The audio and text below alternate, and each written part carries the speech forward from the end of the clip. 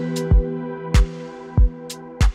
we have all my different boards over the years. This is where I first started. It was the two stickers, crayon drawing of the search and you know the two-tone diamonds. That was something that I rode through like 97, 98.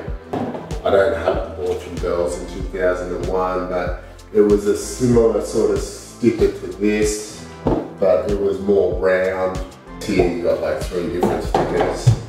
And then that evolved into, you know, a little bit sharper edges.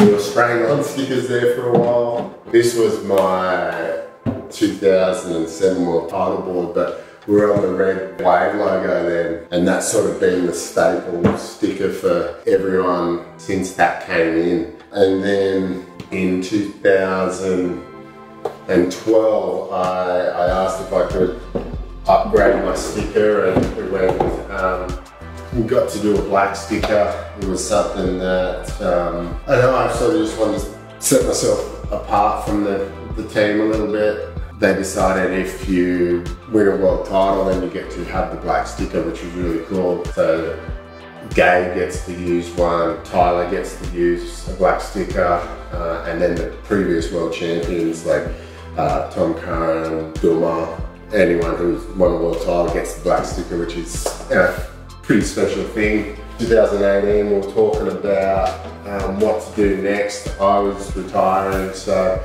and just going on the search. So we went, oh well, let's let's start the uh, the search off again, and and so they came out with this sticker, and this was something that I rode in the last event. This was actually the board I rode in the last event in 2018. I love this sticker. I love the, the search logo. It's um, so iconic and you know got so much heritage there from back in the day when they first started the search. And there was one sticker in my whole time that I didn't get to use and um, now that I'm going to do the Narrabeen event, um, I asked Rip Curl if we could run the sticker that I never had and